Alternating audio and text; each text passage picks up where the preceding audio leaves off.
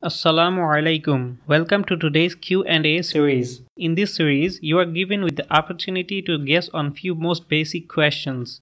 However, you may click on the below links for further details. Question: What is the name of our creator?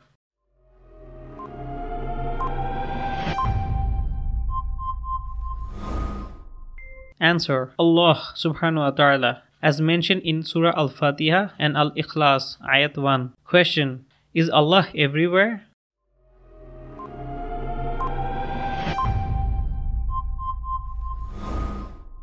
Answer No, Allah is not in everywhere. Question Where is Allah then?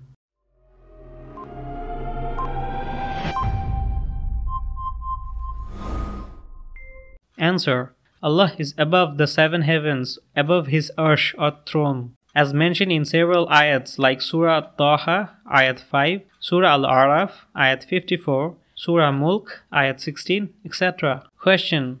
What is the problem to accept that Allah is everywhere?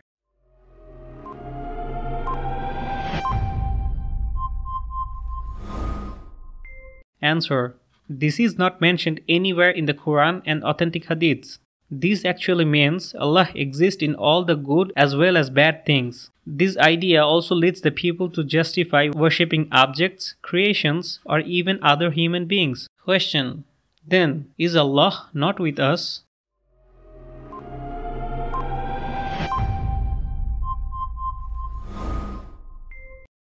Answer Allah subhanahu wa ta'ala, being over his throne, is with us in his support and cooperation, hearing and seeing, and of course in his divine knowledge, as mentioned in Surah Taha, ayat 46.